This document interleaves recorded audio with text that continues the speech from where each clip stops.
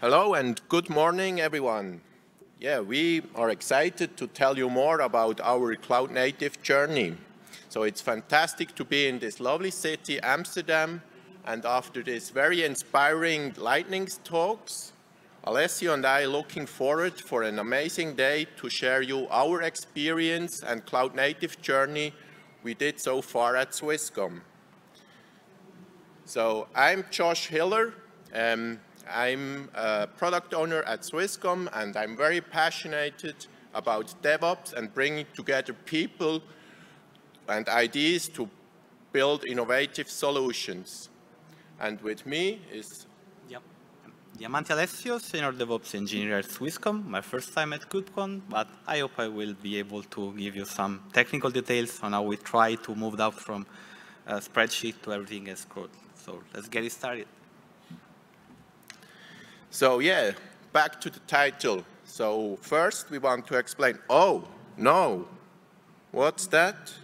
Oh no, my teammate put me on the on the on-call service for our 5G core. So now Dev, uh, Opsgenie is calling me, so I will take the call. Sorry, I I missed it. So yeah, Alessio will explain you more yes. about the...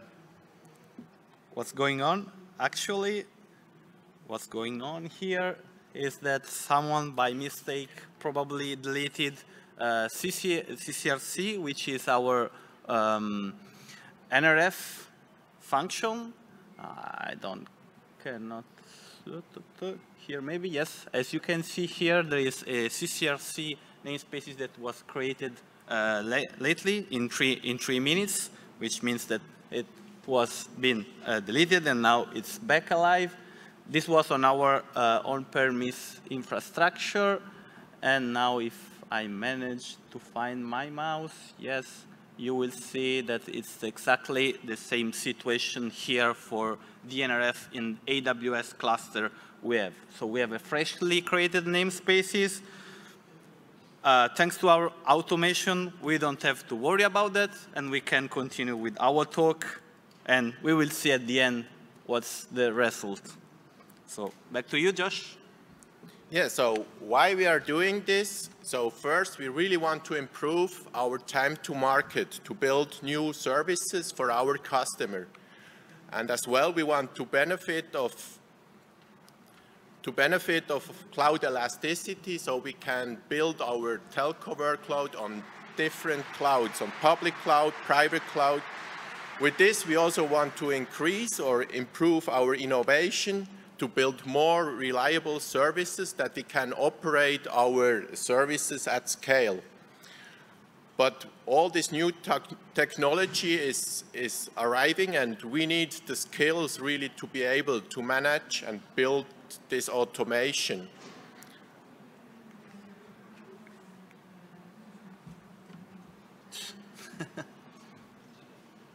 ah. Sorry. So for this, we have our journey from telco to techco. And there we have four pillars. So one is really about simplicity. So we, so telco infrastructure or services are increasing in complexity, so we really need to be able to simplify to be able to build new services or products uh, fast and get them out to our customer. Then the next pillar is cloud nativeness. So it's not about religion, it's really about sustainable uh, operational benefits we want to achieve with the elasticity of cloud and for this, we also really need the automation. And there, yeah, we cannot use any more spreadsheet. We need to have everything as code, so we have it described in our repository and we can push it to the different infrastructure. And to do this, we also need to change how we work. So it's not enough to be able that someone just knows about a certain capability and the next person knows about the next capability. So we really need to work together to be able to make this automation work. So how we do this? So first, we have one backlog for the whole 5G core we built at Swisscom. And there, it really helps to prioritize and as well to, to share the knowledge between all the different teams. And we really encourage the people to work on tasks of other teams and share their knowledge. So really a boundaryless collaboration. As well, we really take together networking engineers, uh, Kubernetes experts and application specialists to build this new 5G, 4G core together. And we, we, we start to, to experiment way faster. So we test something, we fail, and then, yeah, we, we try it an, uh, with another solution. So we really try to rapidly find new solution for the problems we are facing. And the last point is really we have a close collaboration with our vendor. So there we can give them fast feedback and push them in, in the right direction to build more cloud-native workloads. With this, I want now to go more into the technical detail. So to make all this work and be able to spend more time building new products or services for our customer, we really need to have the end-to-end -end automation. So we don't need to spend our time on tedious, uh, repetitive work anymore. So to give, us, give you a short introduction on our automation pipeline. So first, there's an overarching pipeline. Today we use Jenkins for that. And then we have a few sub-pipelines triggering different functionalities. So we get the package from the software packages from our vendor to our software gateway. From there, we use the sourcing pipeline to check this and monitor if there is any new software, take it, if needed, decompose it, push it to our um, artifactory, all the artifacts, the Helm charts and the, the images, and then we also do security scans, so we get alarms if there is any vulnerability in the software we, we receive from our vendors in the end. And then the most important thing, our DevOps team, which manage everything as code in our Git repository. So our full service is fully described in the Git, nowhere else. And then we have our different clouds. We have a public cloud, private cloud, and there we have our Kubernetes cluster. And we use a, an operator called Flux to go to Git, read the description, what to deploy, then go to the Artifactory to get the Helm charts, the image repo, and then synchronize this to the Kubernetes cluster.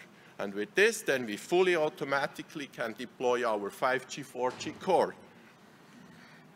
Then if a CNF is deployed, it will notify the, the, the overarching pipeline and will trigger some post-deployment step or then also the configuration, the business logic of the, the, CNF.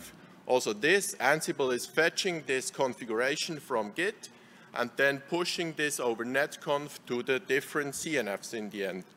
And as well, then we have additional pipelines to trigger an element manager or to configure an element manager, a security manager to, to know about the new CNF, which was deployed, to be able to communicate with it and get the information needed for their capabilities. And then really one of the most important part is our testing pipeline. There we have different tools we can trigger and there, like for example, chaos testing, which was um, mentioned before from Litmus. So there we, we can trigger this after a upgrade, um, after a config change. As well, we do this continuously testing. We will show you later. And do this to different CNFs or as a system under test or as an end-to-end -end test. So and there also very important is our observability capability, where we get all the metrics, the logs. We have as well a dedicated cluster, uh, cluster for the long-term storage, uh, where we store all our data. And this cluster is as well managed by the whole pipeline.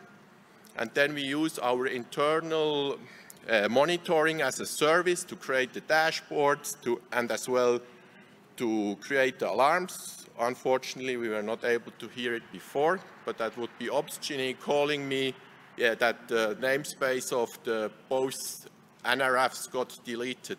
With this, I would like to hand over to Alessio. Thank you, Josh. Thank you for the great introduction. I would like now to go to some more technical details about the Git repositories we have and how we manage them. The first one I would like to talk about is IP low-level design repository, which is one of the milestone change we lately introduced. It's uh, an Ansible inventory where we store all the IP-related informations for all the application, infrastructure, and all the tools we use to manage our 5G core. It's really uh, what enabled us to uh, further automate everything else. So as you can see in the left side, we have um, um, the Ansible inventory with OS, which are the Kubernetes clusters we manage that are divided in groups, uh, different groups regarding their characteristics. On the right side, instead, you can see an example of how uh, we store the parameters so it's a plain YAML file with a hierarchical structure, and it's, as you can imagine, far away from what we were used in the past with spreadsheets, where you have a spreadsheet in somewhere in SharePoint with a freestyle structure. Everyone can go there, modify it. Now, if this one, if the uh, these parameters are stored in Git, you have a centralized way. You have a peer uh, review process to introduce changes and it's the only and unique place from where you get parameters.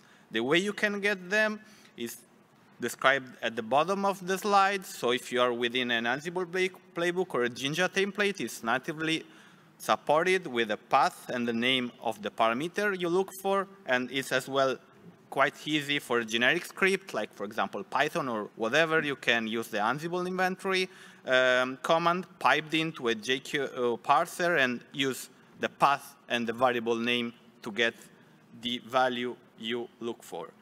This is uh, what we do not only for the IP-related parameters, but for all the parameters of application and infrastructure we manage, as I will show later in the next slides.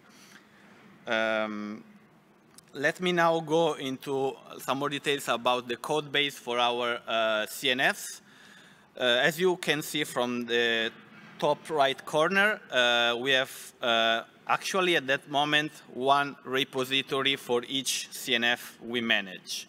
It, this was not the case at the beginning when, when we had an all-in-one repository. However, this is not manageable at all. You can imagine the amount of PRs that are coming for introducing different changes in the different uh, network functions. This was not scalable and manageable at all. So we decided to come to a splitted version for each CNF. The structure of each repo is anyway the same one and is the one that is depicted in this slide. So as you see, the first folder we have is the Ansible folder where we store uh, the application low-level design. So all the parameters that belongs to the application which are not IP related. It's again another Ansible inventory, where in this case hosts are the different instances of, one, of the CNF we manage. In the example, you have CCPC, so the policy control function, and you see all the hosts, uh, that all the different uh, instances we have. We store parameters, as I said before, per host, so uh, we, which are specific of um, uh, a specific CNF instance, or uh, in group vars, where, when they are shared across different um, CNF instances.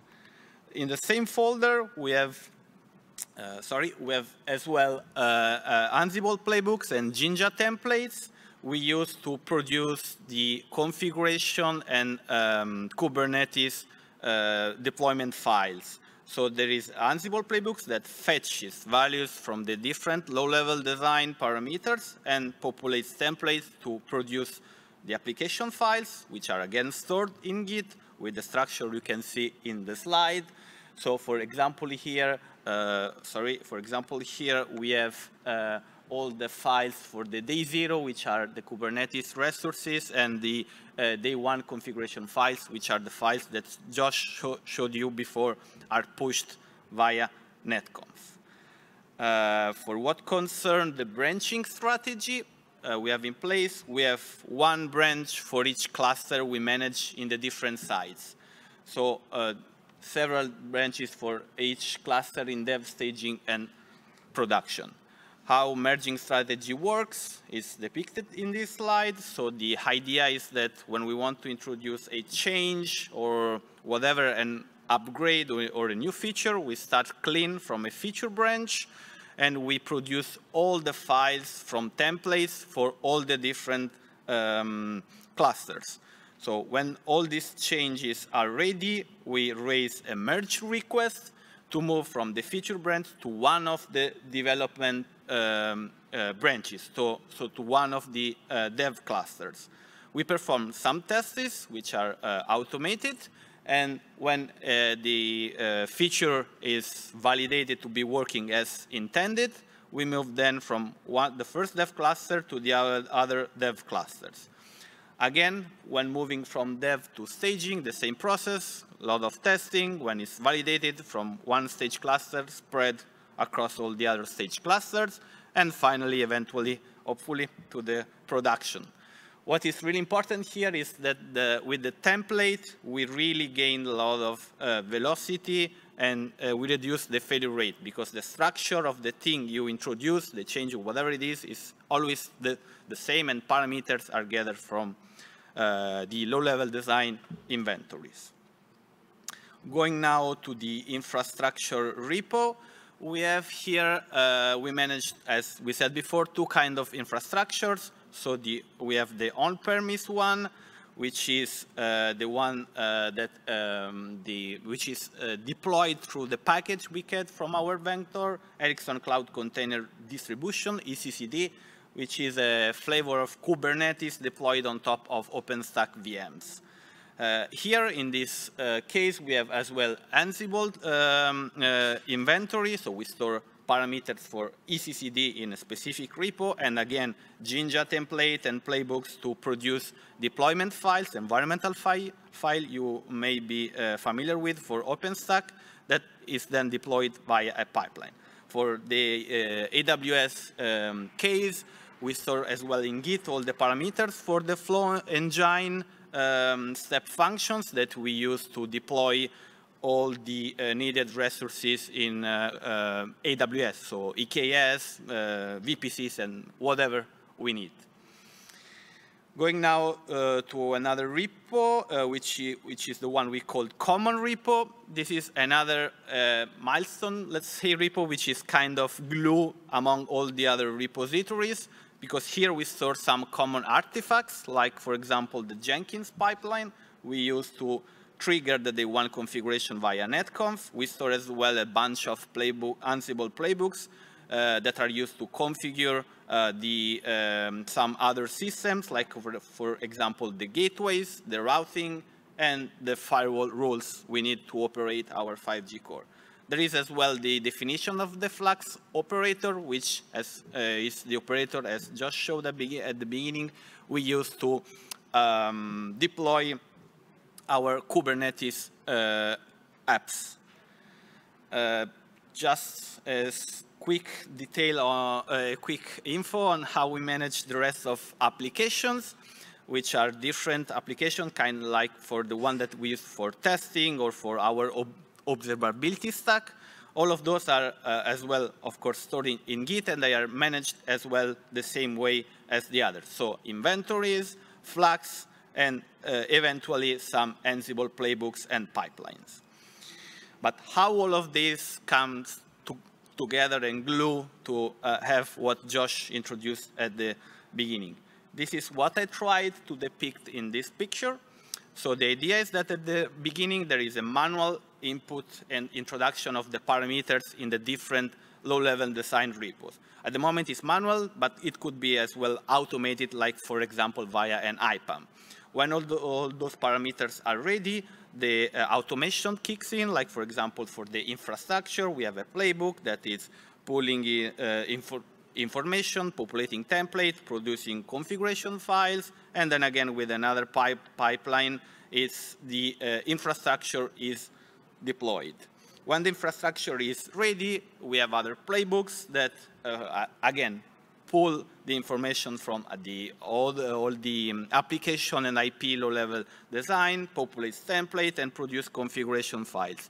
Day zero files, which are um, in our language, let's say uh, Kubernetes files, and day one files, so uh, netconf configuration files. Flux now can take those files from the Git and deploys them on our cluster, as well as for uh, some bunch of uh, tools, like for example, the external secret operator we use to sync secrets from the HashiCorp vault.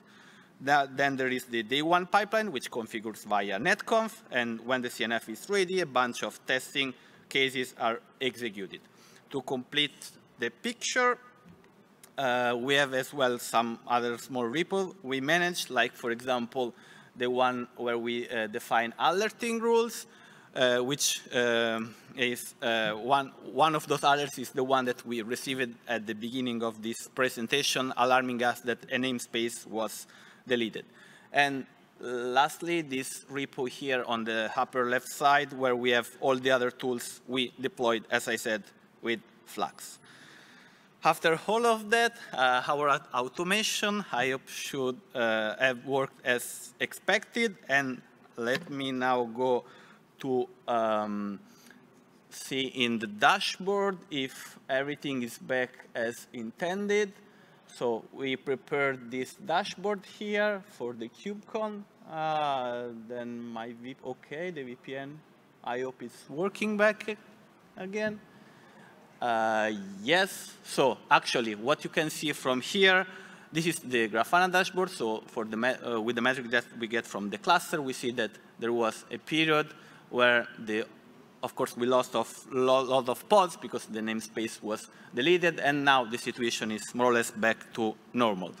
Um, uh, unfortunately, we don't have all the NF back uh, registered, but yeah, this is real life. Sometimes it takes time to get all the NF registered back into the NRF. Uh, what I would like to show you as well is that uh, I think that we have problems with the VPN, but the idea was to show you here some logs entry about, uh, yeah, it's even worse now.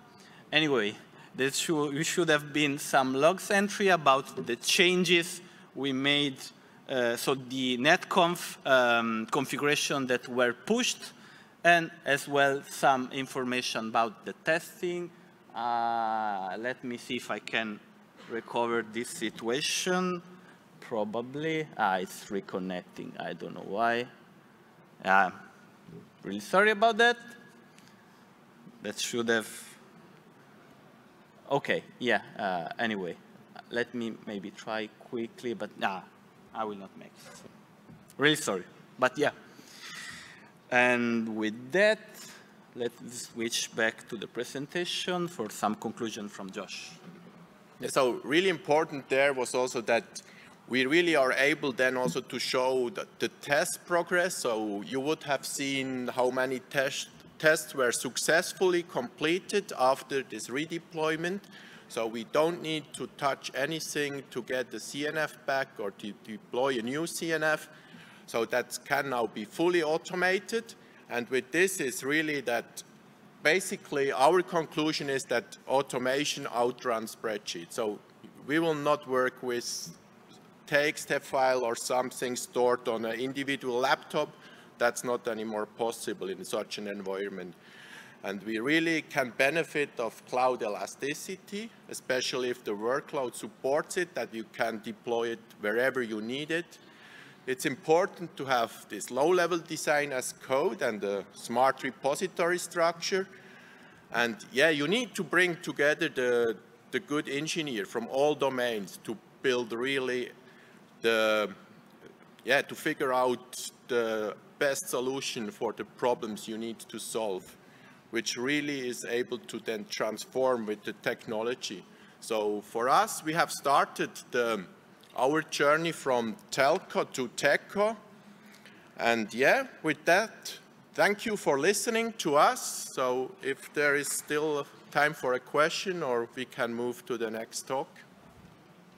I was uh, checking about the possibility to ask the questions. The audio setup doesn't allow that. That's why I'm going to uh, uh, play this role. Um, thanks for this presentation.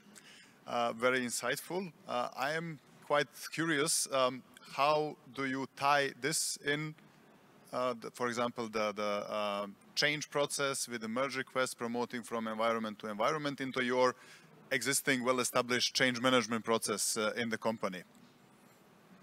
So that's have not been done yet. So there we, we, we try really to go new ways. We are working with our change management to see how we automate changes and which which changes really need to go through this change process and what's just done automatically. Because, yeah, there, with, with how we work now, it's not possible anymore that uh, someone understands why this change is now going to production and even yeah have the time to click somewhere to accept it or even ask someone why this now needs to go to production we really want to get to a change capability where we bring like 20, 100 changes a week or even a day to production. So it gets impossible to know exactly what which change is really doing. And there we also think that because we, we have this structure and all the testing, that we are very confident that everything which gets push, pushed to production is not breaking something. Thank you very much. Thanks, Josh, and thanks, Alessio.